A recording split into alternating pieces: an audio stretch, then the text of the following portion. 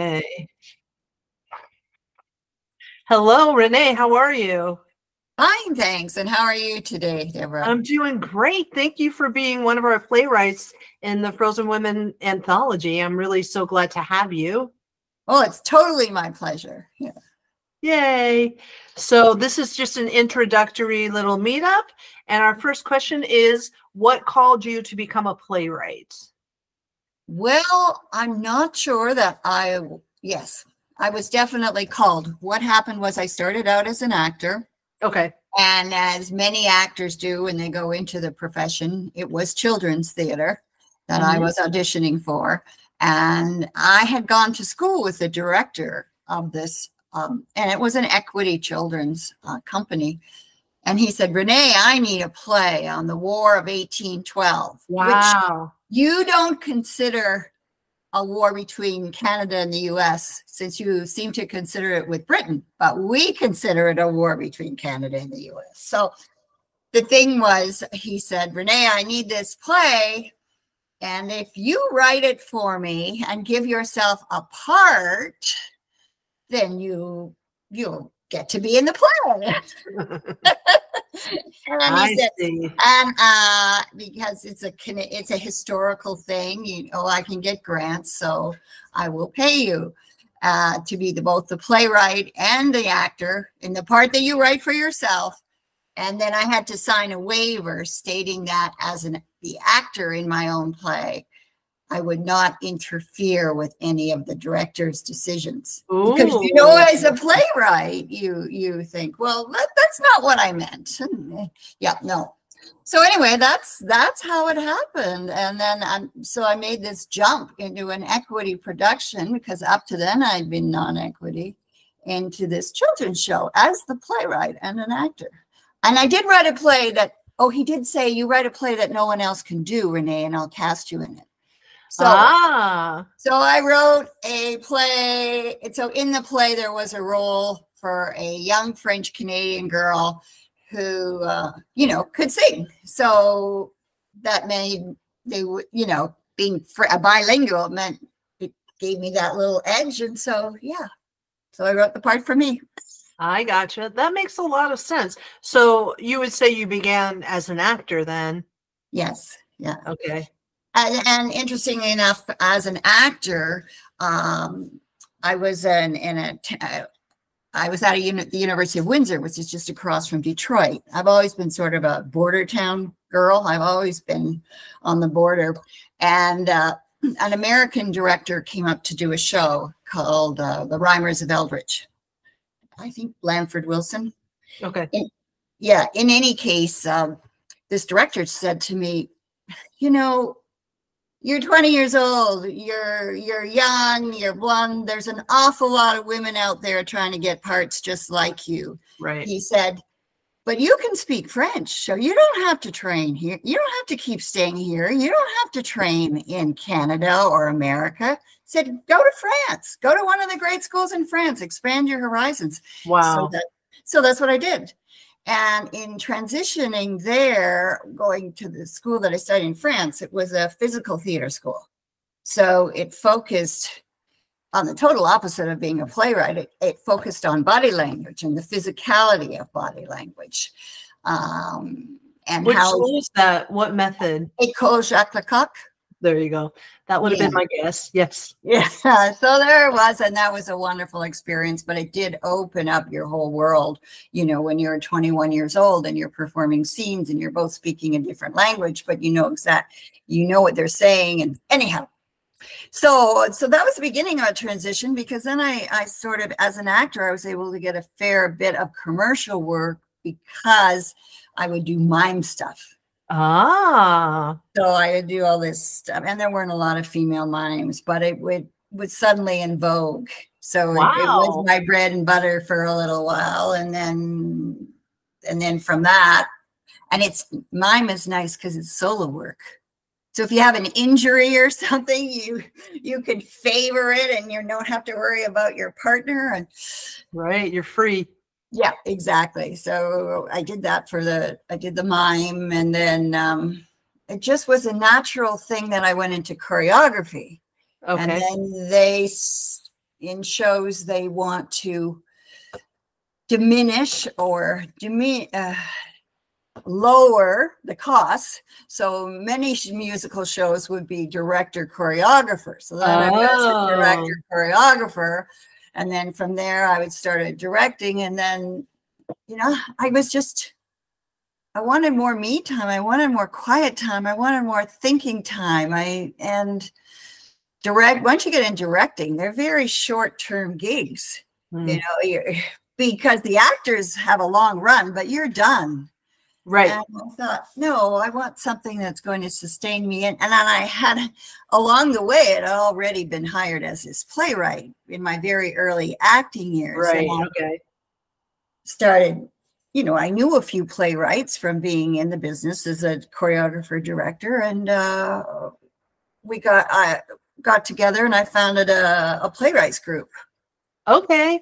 and resurrected what had been the start of the career 20 years earlier. And so I founded Playwrights Niagara in 2012 and uh, it Wow. left in 2021 only because I moved. I gave up my position and I moved, and it's it's still going strong. Uh, and it's it, it's exists solely for play, for professional playwrights for their development and internal readings and that kind of thing. That I tried to start one up in the north here, but I'm I'm right at the um against the upper northern shore of Lake Superior. That's where I live Okay. uh, right across from Sault, Michigan. There's Sault, Michigan, and Sault Ste. Marie, Canada. So uh, I think I've lost track of where was I saying? Yeah, just you tried to relocate. You left your one Oh yeah, I tried to start a group. I started. St- I tried to start a new group up here, and unfortunately, and I went through the the Playwrights Guild, which is our version of the Playwrights Union, because we don't have a union anymore. They can't use that word. It's called guild. So I went through the Playwrights Guild. I said, "Who are the professional playwrights up here?" And they said, "Within a three-hour drive, there's one." So her and I meet regularly, but that Well, is the good. extent of our collaboration. So groups like yours are so incredibly significant because people in rural areas like myself who are writing and have you know little to no people who are professional colleagues uh, because there is no prof- you know if you're really rural there's no professional theater there's community theater but there's no real professional theater out there. So it's very very very important to have companies out there like yours that are promoting culture and particularly feminine culture because we know how much this is still dominated by men. The plays are male dominant. I make a point of always trying to have more women in my plays than men because it makes no sense. The market is is more female dominated. Why is the higher why does the market not address that, you know? Yeah. It's up to Yeah. you and me and all these smaller companies to change that to Yeah. promote the thoughts of women and uh, who we are and what we are, especially we're the majority of the population. I think we're 51 or 52%. Right. Yeah. Yeah. So, Well, tell us about your monologue. This is a really special piece, I can tell. well, yeah. Um, my this, the piece is about uh, the mother of my daughter-in-law. And this Uh, is called Kim's story. We should say this is. Kim's story. So when you do a monologue that's based, I discovered, um, I discovered that when you do a monologue based on veracity and truth, and it has to be true, and everybody who knows anything is still alive, you really got to get your facts right Yeah. what started off as an uh, as just a, a nice idea when I read the there were just a couple lines about Kim in in her funeral bulletin. You know how you get those little pat uh, mm. whether it's called a celebration of life or funeral, just her obituary. And in that obituary, it just mentioned two lines about how she had she had been imprisoned and had to carry her children through the jungle. And I thought, whoa, you know, uh, uh, we share the same grandchildren, and I never knew this. Wow. So I never knew that part of it because she really didn't speak English. So, you know, we spoke a little bit to one another in French, but uh, so I didn't know her story at all. I just knew her as my son's mother in law. Uh, although our families lived fairly close together, and my husband taught her son. So, oh, wow. so there were connections, there were connections there. But that gave me the idea at her funeral when I read these couple lines. I thought, well, that's an interesting story. And everybody's, all these immigrants, they do have complicated stories yeah. and they're much in a much bigger world than you and I are. So yeah. I started to pursue it and it was initially started, it initially started as two monologues. Okay. One of a Zen uh, Generation Z her, you know, with her nanny and her tying her shoes and all the, you know, things and not really very punctual about her work ethics and all that. Just running and stopping to um, tie her shoes beside Kim sitting on a bench. And then I had each of them tell their stories. But nobody really cared about the Generation Z. We went into discussion about it in the playwrights group and development, and they said, you should just tell. The suggestion was to just tell Kim's story because right. that was the really interesting one, as opposed to trying to do a comparative study. Uh, so I did, but it, you know, having to get everything, there several versions of it before I got everybody in the family could decide which were the closest facts and who was why did we say that and right. it was definitely a community thing and i was still trying to capture the fact that that language wasn't too smooth you know so that anybody with an accent can do it and then there were no words that were too big but it yeah. might be had she been able to speak english what she would say uh, and I, I think so. I mean, luckily, my daughter-in-law you know, lives very close by now. So she has reread and re- before it went into you, I the final version that went into you was redacted and reenacted and replayed. Got it. Pretty sure we got it just right. Good, good, good. I know what was interesting for me in receiving submissions, and this is how it would go for my producing four plays a year. I got into this habit of just blind reading everything that came at me and kind of using it as a way to take a temperature of the culture in terms of what it meant to be a woman especially and and i usually could always choose four plays that resonated off of one another in in unexpected ways you know and that would lead me to title the whole year based on so it was like tapping into some kind of weird collective unconscious um, in right. the play submission and because we're so small i would choose the plays I would announce in February and go straight into rehearsal. So there wasn't like a year that went by through a committee or anything like that. It was like, you know, and one of the things, and me myself as a, a playwright, have spent a decade on the Molly Maguires, so I know for sure that when you're telling historical stories about women, it's very tricky, and you don't want to write a Wikipedia page about them. You want mm. it to be a dynamic something mm-hmm. about the character, so you have to take liberties. Um, uh-huh. Um, but then there's this reverence and you don't want to take too many liberties and it's such a weird line it and is, I, yeah and i found that like the more liberties i took the closer i got to them which was mm-hmm. so interesting but in this submission process instead of only selecting four plays i was able to select 76 you know yes and a similar thing of like the chapters then started to reveal themselves to me like i'm gonna this is how as a producer this is how i view it you know?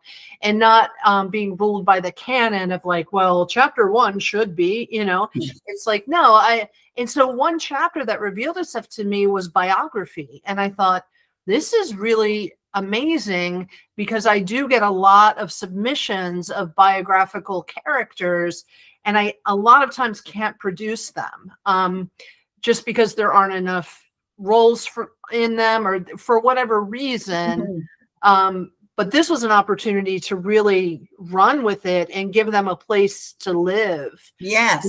So yes. it's so amazing just to have this biography chapter, all kinds of different women, and yours, obviously, you know, one mm-hmm. of them. And so I just applaud you and thank you because it's it's not like any other process writing a biographical. It's not like anything else. And as a woman in particular, because a male biography is you you have the canon, you have the um all of the assumed knowns. Like we we live in that world, so we know we we jump in with a bunch of assumptions. There's a familiarity to the world.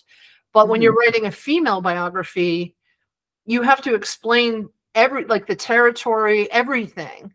None mm-hmm. none of it is known. No, that's right. Yes. So it's the I understand what that challenge is, and I just tip my hat to you. I was I was so excited to read it and the reverence that's in it. I I, I felt that I understand that, you know. So so well, like oh, I'm sorry. I was just going to say, just, no, just like many immigrants, um, you don't know there's they're often very quiet people. Yeah. Uh, partly it's a language thing and and a hesitancy thing because you're not part of the culture and a learning experience for them but they have stories like incredible background stories and yet you know we we dismiss them or we look at them or we don't understand them or they're just too quiet to be part of the conversation and that it's it's amazing. I'm, I'm I'm thrilled that you're actually doing a whole section of looking at the internal mechanisms within the whole biography. How many biographies are you including?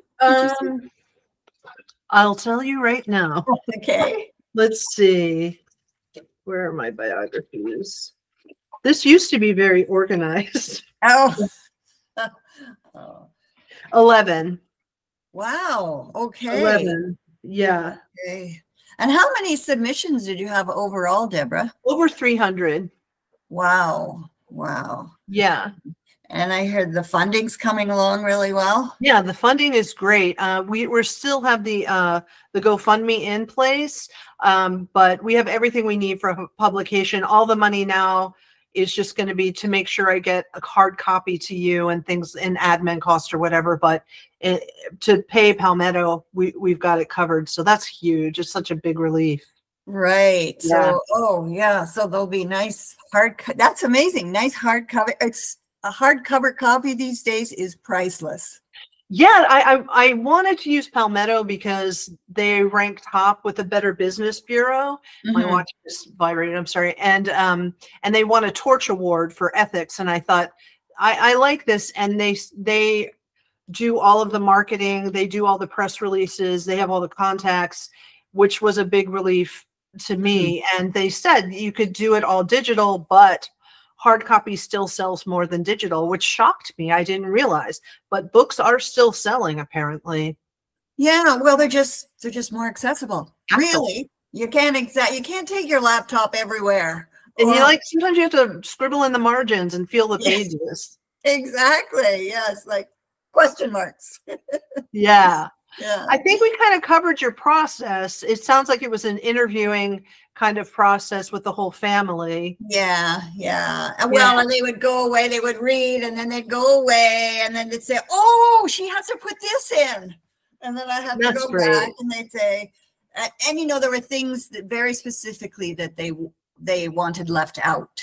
Sure. You know, uh, yeah, and uh, I had to agree to that, and, and leaving to my mind theatrically and dramatically they made the story a little less interesting leaving them out but i left them out because that's you know it was their story her yeah. story yeah so i wanted to follow their wishes and you know i i didn't want to have to pull it from the shelves because i said something wrong yeah i know yeah. one of the characters in my piece margaret o'donnell she um never spoke English. She only spoke Highland Gaelic. And what I, from what I read, it was a, a choice. Like she didn't want to speak English. And when you say that, it sort of reminds me like it, there was also the theme of like dying proud. Like there's this sense of like we won't be defined by the terrible things that happen to us. We're going to mm-hmm. carry ourselves with pride. We're going to carry ourselves with dignity in our own language. Like there's a I don't know, reverence, respect for that, you know. Yeah. But as a as a theatron, though, you know that it would be more dynamic if we saw the yeah. Yes. But it's, it's just like, but there's a that's what I guess I mean about biographies. Why it can be Mhm. very difficult to stage them in a lot of Mhm. ways. Yeah. So Mhm. this was yeah. I'm But, so yeah, excited. monologues are a great way to do it, you know? Yeah, absolutely. So, what has your experience been regarding play development? You already talked about writing yourself into plays. I assume this was earlier on in your career. That was the only time that ever happened, but Okay. and and it was only because yeah that's how it came about that was my first foray and my into playwriting like i said and then i didn't go back to it for 20 years but Oh, okay. um, yes so I, I- Okay. I, don't know about the about the process and development Mhm. it's hard and, you know uh, one of the things is one of the hardest things is is the end result when you finally are where you want to be and you want to get it on stage because you've done your readings you know you've brought together you've worked in your playwrights group you've discussed everything. Now I'll, uh, you bring together friends you have a play reading. Now how do you get it up there? And and that is still in the process. For me one of the most difficult things a if you write i find and maybe other people haven't found the same thing but if you write a full length play it doesn't get read you know i think directors are just so busy and even though they have a call out for full length plays if they don't know your work they don't read it. So you get into the thing habit of writing smaller plays, one act plays, 10 minute minute. plays, and that Yeah. kind of thing, hoping they'll get selected. But because they can be written quicker, you're in a huge competitive pool. Right. So I suppose, and I was thinking about this before I spoke with you today. Uh, I keep a list when my uh, where my plays are sent. So because I have several, and I don't always remember which play went where. So if someone writes me back, so I keep a list, an annual list of how many times I send in submissions, and I'd say that list ranges between 30 to 35 every year okay. and positive responses are about two. They average two a year. Yeah. And so I don't know if other people, if I'm really lucky, maybe I have two and one that made it to the finals or something. But it's that part, it, and that's the frustrating part because you know you have something Yeah. good and you're trying to get it out there and you're trying to get someone to read it. Um, so that's my experience with the process.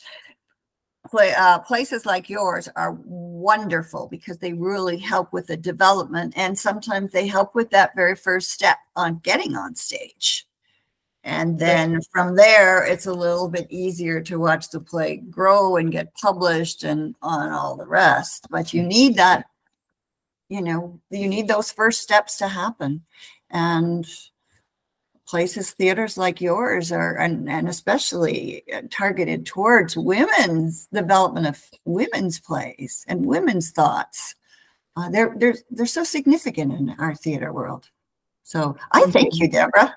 Oh, I, and thank you. And I've I've said this before, so I, I'm repeating myself, but I don't know if it brings you any comfort to know that you are in no way alone. Uh, I almost all of these sessions when I've asked these questions, the same thing comes up of a writers group. I belong to a writers group. I started a writers group.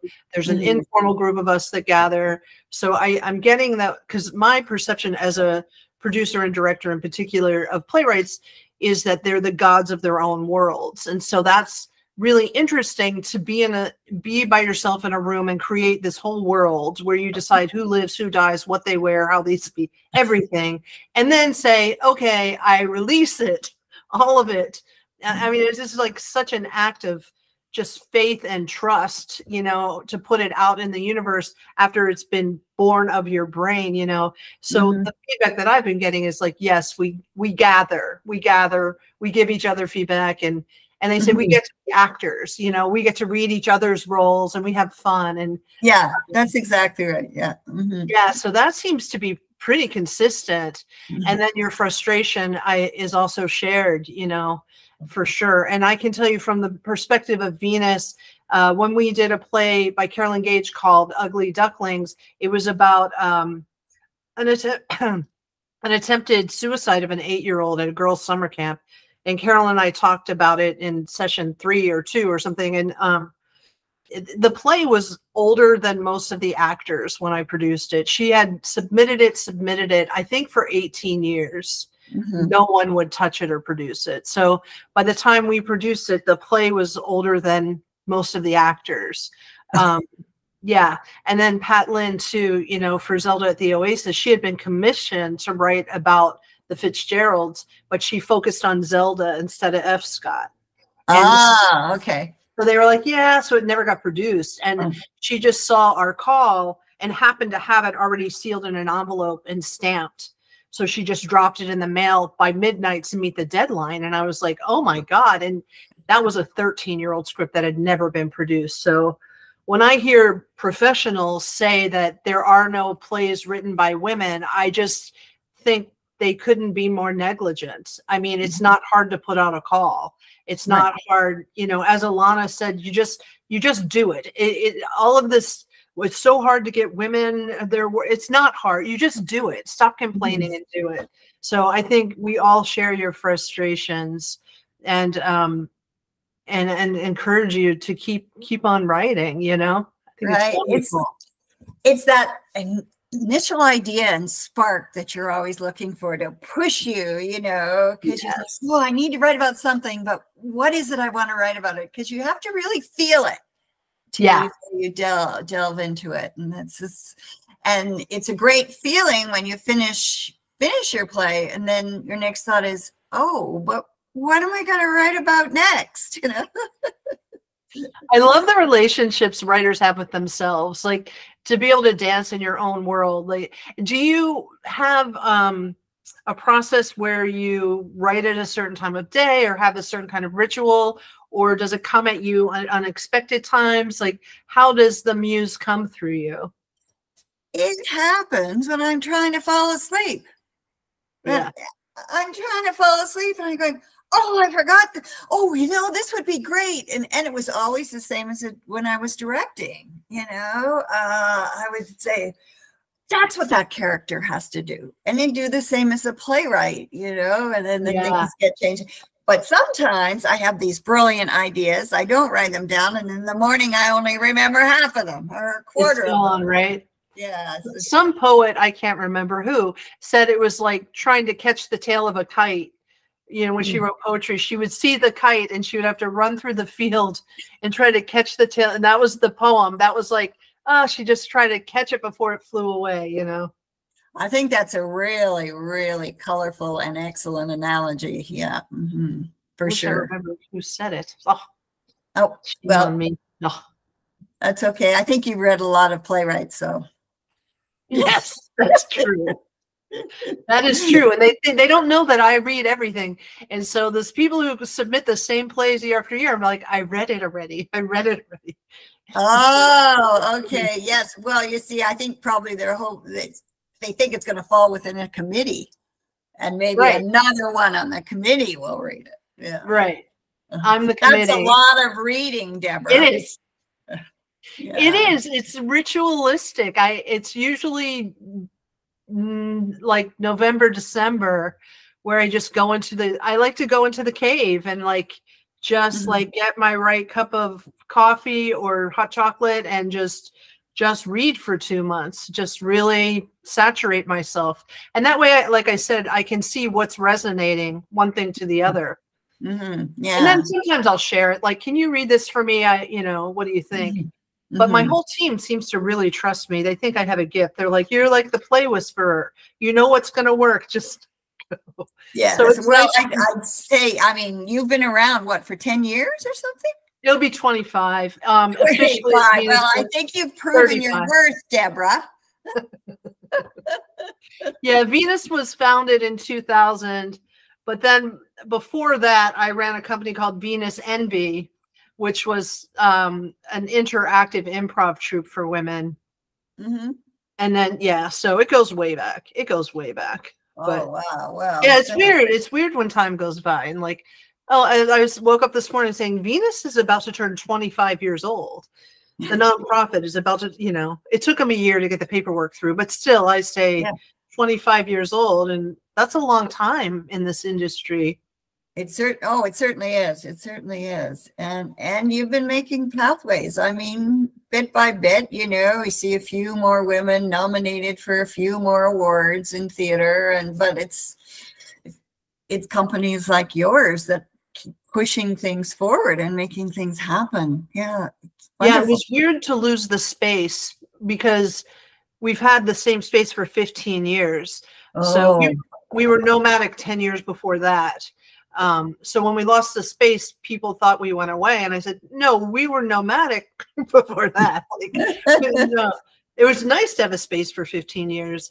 Um, and it took some real um, deep diving to figure out what, and that's how it led to publishing. I thought, mhm. well, now I, I, we can publish and it can be, it can happen everywhere now, you know? Yes, yes, it's great. I mean, and as far as I know, you're the only one around for female works, right?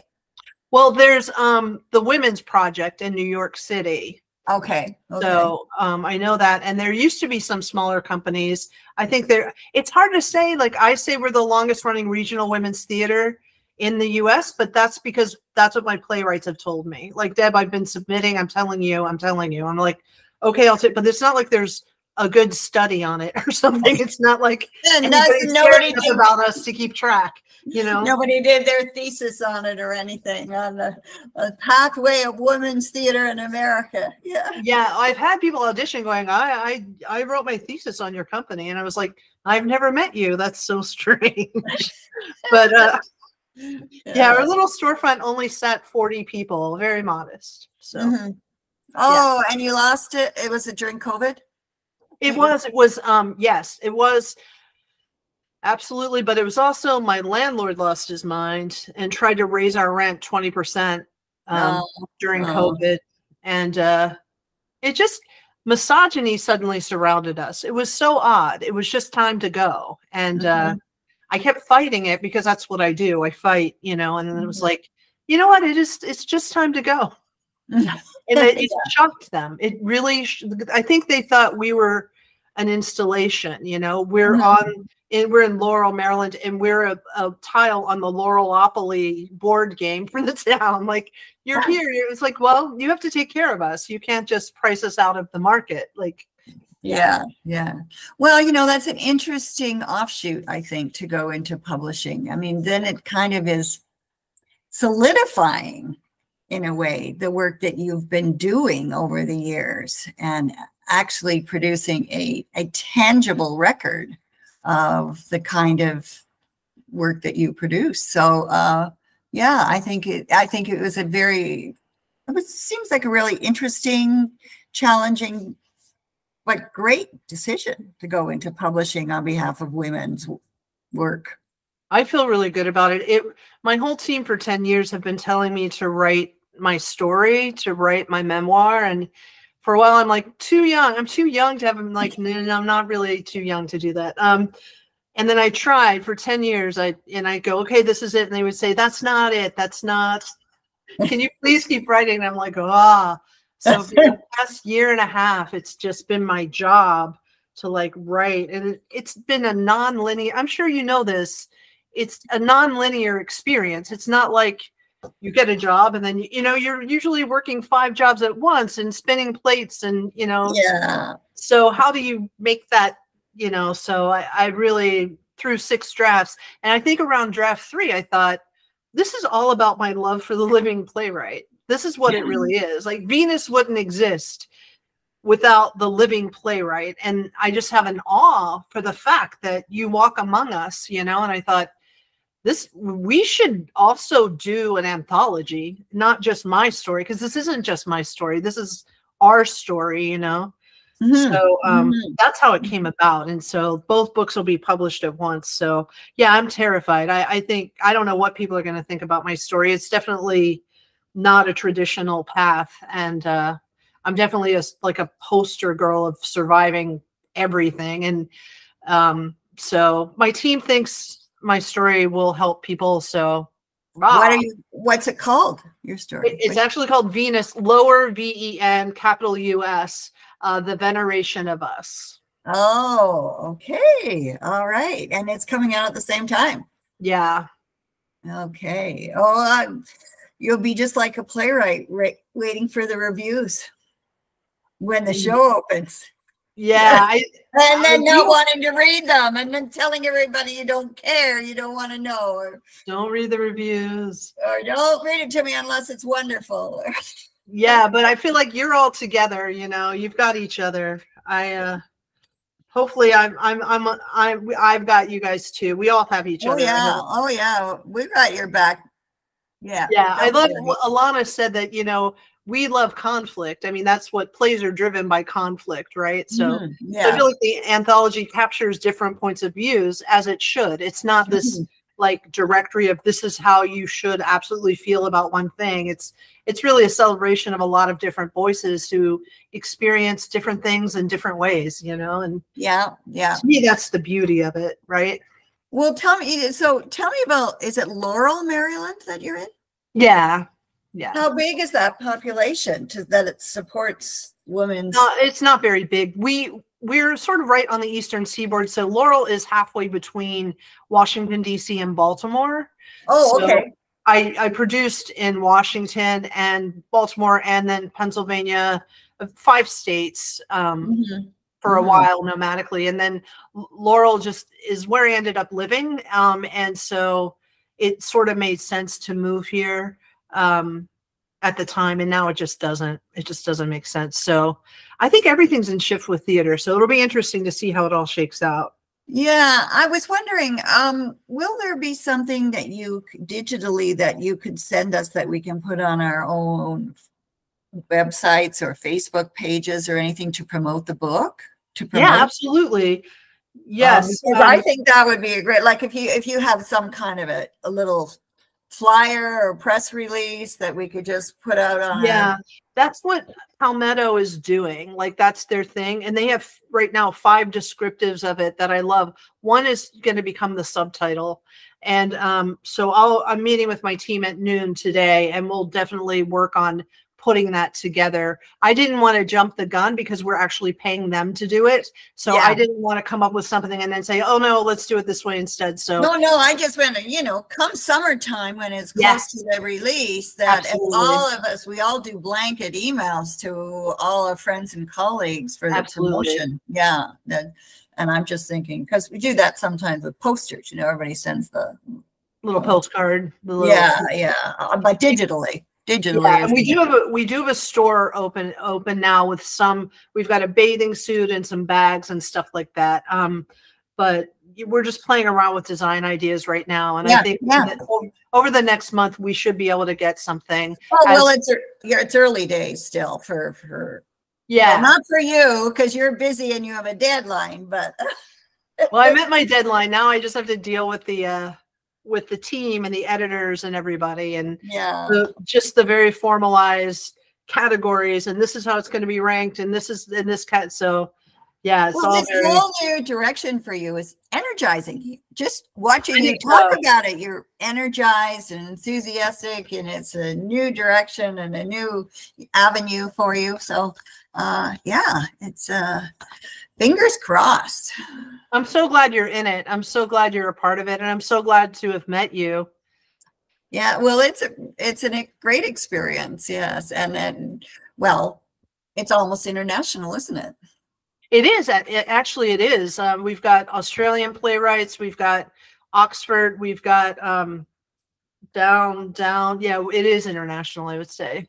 Yeah, yeah. So that makes it even more. All women around the world joining together to have their voices men. heard, right? I think there are three male playwrights. I think. Oh, there are three. Okay. I think. Oh. I, I do read blind, so I'm like, oh, I like these characters. Oh, I like this. Well, there's a play of mine going on right now. Well, that opens in May called Road Trip, and it's uh, six women and one man, and we've had to replace the man. Ah. got a little intimidated, I think. He was a, a young man, yeah. And, but it's, uh, I, I like to write plays that have more women than men. It's just yeah. we, we got to start balancing it out now. I've only ever staged one play with as many men as women. Otherwise, the women always outnumber the men on my stage. Mhm, I mean, that yeah. was to make a point at a racetrack. Um, yeah, but and when you get them, you have to find the right guys for sure. Yeah. yeah, yeah. And my guys, I I'm just they're they're so supportive and Mhm. yeah. Oh I've been- yeah, they, they found they, the replacement guy knew what he was in for, and he, he'll be great. Yeah, so Yeah. I'm not too concerned, but it, it was funny. It was just it just seems so hard up here to for them to cast a male uh, that wanted to be in a cast of six females. It, it Yeah. was just just something different, I, new to me. you flip the gender and it's not a big deal. Like any woman would be like, "Thank God I have a role." There's only one woman with all these men, and it's like, Yeah, flip that yeah. around, and it's like, what? yes. I know I've seen it many times. All right, well, I'm going to stop recording. Is there anything else you want to say? No, I don't think so, except thank you. And I'll really look forward to seeing the, the book and the publication date is July. Um, I don't have a publication date yet. Oh, We're going okay. through, so yeah. So I think it's a three month process. So Okay. I think June, July is when it should be coming out. Oh, okay. That sounds great. Yeah. Well, good luck to you. And thank you so much for doing the interview and, and giving all us female playwrights a chance Thank uh, you. at being seen and read. That- yes. Okay. Take care.